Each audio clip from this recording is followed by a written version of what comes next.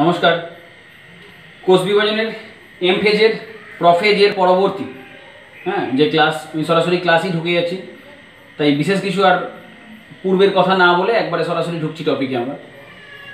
আমরা এম ফেজের প্রফেজ ডিসকাস করেছি আগের ক্লাসে এখন আমি গণনা করতে চলেছি প্রফেজ পরবর্তী, মেটাফেজ সংক্রান্ত বিষয়। ঠিক একই রকমভাবে তোমরা সহজভাবেই বুঝতে পারবে। দেখো আগের বারেও কী করেছিলাম? প্রফেজের আগে কী ছিল? ইন্টারফেজ তাই ইন্টারফেজের আমি একটা ছবি এঁকেছিলাম, মনে করে দেখো। এবং ইন্টারফেজ স্যার তুমি কি পেয়েছিলে বলো তো? সেই চাউমিনের মতো হয়েছিল না বিষয়টা? বা ম্যাগির প্যাকেটের মতো হয়েছিল। দলা পাকিয়েছিল সব কিছু দ্যাট ইজ কল ক্রোমাটিন তন্তু। সেখান থেকে ধীরে ধীরে প্রফেজ দশায় দেখো তুমি এই ছবিটা পেয়েছিলে। দেখো, তোমার খাতাতে হয়তো আঁকা আছে এটি।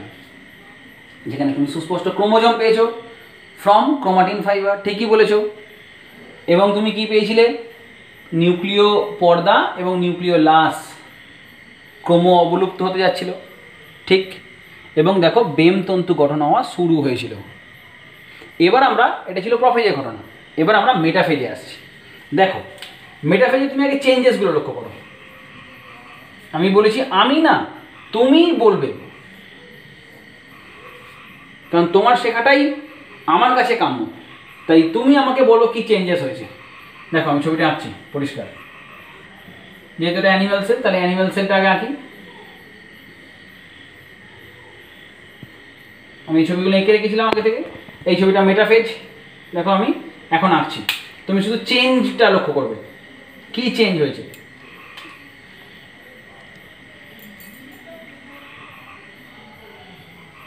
এবং আঁকাটাও আমার সঙ্গে সঙ্গে এঁকে যাও।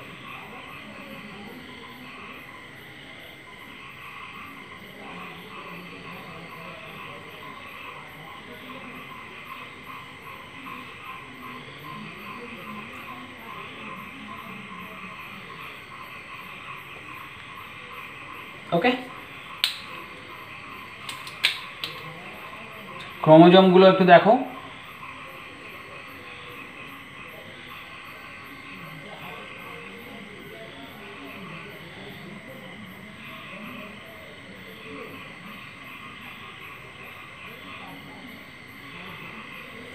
These are the chromosomes আচ্ছা এটা আমার কমপ্লিট হয়ে গেছে।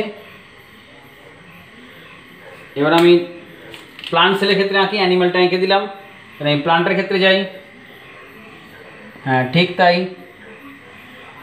যেটা খেয়াল রাখার বিষয় অবশ্যই তোমাকে কোষ প্রাচীরটি করতে হবে this is the basic difference of plant and animal cell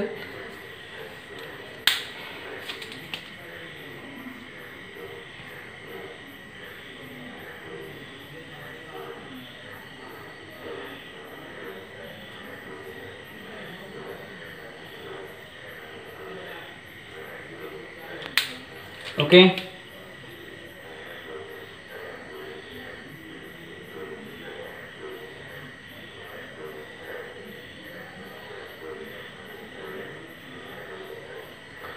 Fine তো এটা এটা তো বলার অপেক্ষা রাখে না, এটা অ্যানিমেল সেলের মেটাফেজ এটা প্লান্ট সেলের মেটাফেজ ওকে ছবিটা সবার আঁকা হয়ে গেছে, আশা করি। মাইনিউটলি লক্ষ্য করো ডিফারেন্সেসগুলো ফার্স্ট কি ডিফারেন্সেস দেখলে? এই যে ক্রোমোজোমগুলো ইতস্তত ছড়িয়ে আছে কোষের মধ্যে, এই যে ক্রোমোজোমগুলো ইতস্তত সরিয়ে আছে কোষের মধ্যে, দেখতে পাচ্ছ? সেগুলো এখন কি হয়ে গেছে? বাধা পড়ে গেছে। ঠিক এই কথাটা কেন বললাম? এটাকে যদি ইংরেজিতে আমি বলি অ্যাটাচড অ্যাটাচড হয়ে গেছে। ক্রোমোজোমস আর অ্যাটাচড এখন বলবে, স্যার, কার সাথে বাঁধা পড়েছে? দড়িটাকে, দড়িটার নাম হলো বেম তন্তু বা spindle fibre. Chromosomes first point ঠিক ভেবেছো? ঠিক first point chromosomes are attached দেখো, ইংলিশে লিখছি ঠিকই, কিন্তু খুব সো সিম্পল বাংলা। ক্রোমোজোমগুলি আটকা পড়েছে, বাঁধা পড়েছে। Chromosomes are attached with spindle fibre and এবার বাঁধাটা কোথায় পড়েছে বাবা? স্যার এটা কি পড়াচ্ছেন বলুন তো? মেটাফেজ স্যার মেটাফেজকে বাংলায় কি দিয়ে শুরু? ম দিয়ে শুরু। ম একা, ট একা, ফ একা প্রকৃজ ম দিয়ে আর একটা কথা হয় মাঝখান। হয় না? এম দিয়ে আর একটা কথা হয় মিডিল ঠিক না? ঠিক বলছি কথাটা? তাহলে এম ফর মিডিল বা ম দিয়ে মাঝখান। মাঝখানের সঙ্গে কি কোনো সম্পর্ক আছে? যখনই আমি এটা বলে দিলাম, তোমাদের মাথায় ক্লিক করে গেল, দেখো। হ্যাঁ স্যার, ঠিকই তো। Chromosome sir attached with the spindle fibre আপনি যে এখানে জিজ্ঞেস করলেন, কোথায় বাঁধা পড়েছে? স্যার, মাঝখানে বাঁধা পড়েছে না? কোষের ইকুইটোরিয়াল প্লেট বরাবর বাঁধা পড়েছে। ঠিক ঠিক ভেবেছো। chromosomes are attached with the spindle fibre and situated অবস্থান করছে কোথায়? At equatorial position of cell. অর্থাৎ বাংলায় বললে ক্রোমোজোমগুলি বেম আবৃত হয় এবং কোষের মাঝখানে বা ইকুইটোরিয়াল প্লেট বরাবর অবস্থান করে। ঠিক কিনা? আচ্ছা দেখো তো ক্রোমোজোমগুলো একটু আগের থেকে পরিষ্কার হয়েছে কিনা? হ্যাঁ স্যার, একটু পরিষ্কার হয়েছে। একটু স্পষ্ট হয়েছে। ঠিক। এনসিআরটি এটা খুব ইম্পর্ট্যান্ট একটা পয়েন্ট পরীক্ষায় এমসিকিউ আসে। এইভাবে chromosomes are clearly visible in option A prophase metaphase anaphase telophase এখন তুমি বুঝতে পারছ কোন ফেজ হবে? ভেরি গুড ক্রোমোজোমস এখানে কি হয়েছে? এই ফেজে chromosomes are clearly visible in also countable number তাহলে কি বললাম? ক্রোমোজোমগুলো এতটাই স্পষ্ট দেখতে পাওয়া যায় এবং তাকে কাউন্টেবল নাম্বার গণনাও করা যায়। এক, দুই, তিন, চার। হ্যাঁ ওখানেও তুমি গণনা করতে পারতে। ঠিকই। কিন্তু ওক্ষেত্রে দেখো ক্রোমোজোমগুলো ক্লিয়ারলি ভিজিবল না। বা হয়তো কোনো কোনো সময় একসঙ্গে জড়িয়ে আছে, এরকম হতে পারতো। কিন্তু এখানে একদম ডিস্টিংক্ট হয়ে আছে। পরিষ্কার তুমি দেখতে পাচ্ছ, বেম আবৃত হয়ে আটকে আছে। আচ্ছা আর কি নতুন কিছু পাচ্ছ? আর কি নতুন কি পেলে? প্রাণীকোষের ক্ষেত্রে দেখো বেমতন্তু গঠন এটা নতুন নয়, এটা পুরো নয়। বেমতন্তু গঠনে সাহায্য করেছে কে? এই সেন্ট্রোজোমের অ্যাস্টাল রশ্মি থেকে তৈরি হয়েছে। দেখো, সেখানে কিন্তু উদ্ভিদ কোষের ক্ষেত্রে নো সেন্ট্রোজোম কোনো সেন্ট্রোজোম নেই এখানে নো সেন্ট্রোজোম তাহলে বেমতন্তু তৈরি হয়েছে কোথা থেকে? আগেই বলেছি আমরা মাইক্রোটিউবিউলস হতে মাইক্রোটিউবিউলস বা অনুনালিকা হতে। ক্লিয়ার হচ্ছে বিষয়টি? তাহলে কোষের মাঝখানে ক্রোমোজোমগুলি সজ্জিত হয়ে আছে, ক্রোমোজোমগুলি কাউন্টেবল নাম্বারে হয়ে আছে। ওকে নেক্সট পয়েন্ট আর কি আছে? আর পার্থক্য কি আছে? দেখো তো, নিউক্লিয় পর্দা, নিউক্লিওলাস আর এখন দেখতে পাচ্ছ কিনা? না তো স্যার, দেখতে পাচ্ছি না। তাহলে তিন নম্বর পয়েন্ট লিখে ফেলো। nuclear envelope and nucleolus totally disappear ঠিক কিনা? তাহলে নিউক্লিয় পর্দা এবং নিউক্লিয় লাস টোটালি কি হয়ে গেছে? ডিসঅ্যাপিয়ার করে গেছে। নিউক্লিয় পর্দা এবং নিউক্লিয় লাস ওটাই ডিসঅ্যাপিয়ার করে গেছে। এখন তোমাদের একটু পয়েন্টের তোমাদের একটু জানার জন্য বলি। দেখো, এখানে বেমতন্তু পাচ্ছ তো? এইগুলো তো আমি নাম দিলাম বেমতন্তু স্পিন্ডল ফাইবার ফাইবার দেখো স্পিন্ডল ফাইবারগুলো বেশ কয়েক রকমের আছে, তাই না? এই ধরো যে যেটা আমি পয়েন্টিং করলাম স্পিন্ডল ফাইবারটা এটারই যদি একটু নাম এরকম দাও, তুমি দেখবে আমার সঙ্গে হয়তো একমত হবে। দেখো, এই স্পিন্ডল ফাইবারটা এখান থেকে শুরু হয়েছে, একদম এখানে চলে গেছে কন্টিনিউয়াস গেছে, কিন্তু কোনো ক্রোমোজোমকে ধরে নেয় ঠিক বলেছি কথাটা? তাহলে এর নাম আমি দিতে পারি কি continuous fibre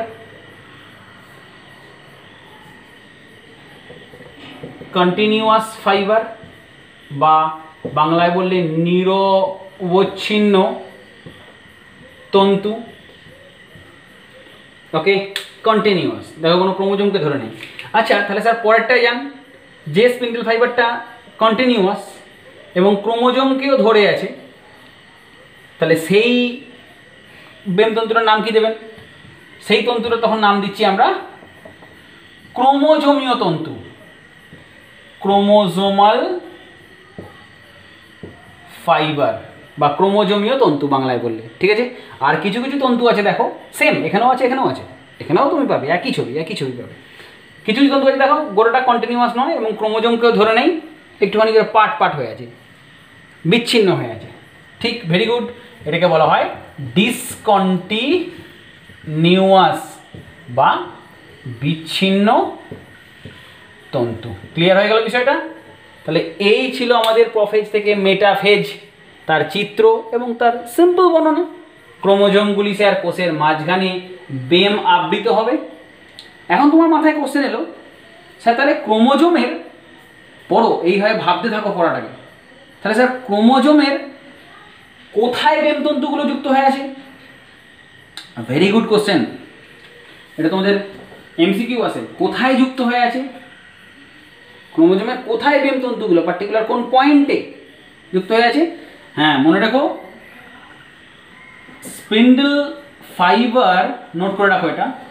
Fibre are attached